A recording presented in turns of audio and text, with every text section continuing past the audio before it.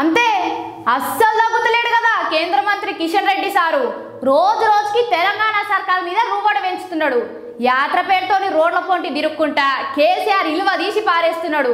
ఆగో ఈ అడి ముచ్చట్లేంటి అయినుండ్రి? మరి ఏడు సంవత్సరాలుగా ఎన్నిసార్లు సెక్రటరీకి వచ్చారో ఒక్కసారి ఆలోచన చేయాల్సిందిగా కోరుతాను ఎన్ని నెలల పాటు ఫామ్ హౌస్లో ఉన్నాడో ఒక్కసారి ఆలోచన చేయాల్సిందిగా కోరుతాను సెక్రటరియట్ కొలగొట్టి అధికారులందరినీ చిందర వందర చేశాడు. సెక్రటరీ లేనటువంటి రాష్ట్రము ఈ భూప్రపంచంలో ఏదైనా ఉంది అంటే కేసీఆర్ పాలనలో మన తెలంగాణ. అంత అన్యాయం అయిపోయింది. తండ్రి కొడుకుల చేతిలో తెలంగాణ బందీ అయింది. ఈరోజు తండ్రి కూతురు చేతిలో తెలంగాణ బందీ అయింది. మామ అల్లుల చేతిలో తెలంగాణ బందీ అయింది. ఈరోజు దీనికోసం మనం తెలంగాణ తెచ్చుకుంది. ఒక కుటుంబానికి ఈరోజు బానిసలుగా చేసే విధంగా ప్రయత్నం చేస్తూ ఉన్నారు. ఎంతో పవిత్రంగా ఓట్లేసి మనం గెలిపించి ముఖ్యమంత్రి చేస్తే ఆయనను ఈ ముఖ్యమంత్రి పదవి నా ఎడమకాలి చెప్పుతో సమానమని ముఖ్యమంత్రి అన్నారు నలుగున్నాడు అగ చూస్తున్నారా? ఏ తీరుగా మాట్లాడుతున్నాడో కిషన్ రెడ్డి సారు? ఏమాత్రం వెనుకకు తగ్గుతలేనట్టున్నది. ఎన్ని రోజుల కానుంచో కడుపులో దాసుకున్నాడో ఎన్ని ముచ్చట్లు. ఎలక్షన్లు లేకున్నా దంచి కొడుతున్నాడు తెలంగాణ సర్కార్ మీద.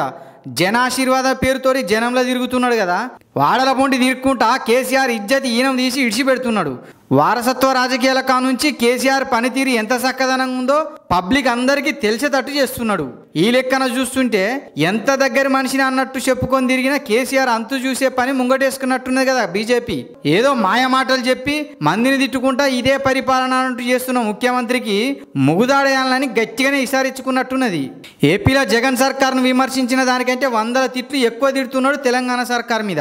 అందుకని ఆగమాగం అవుతున్నారు కారు గుర్తు పార్టీ కార్యకర్తలు. ఒకళ్ళనికొకరు బయటకు వచ్చి కిషన్ రెడ్డి సార్ను విమర్శించే పని చేస్తున్నారు. అయినా ఆగుతున్నాడా? ఇంకో మాట ఎక్కువనే తిడుతున్నాడు.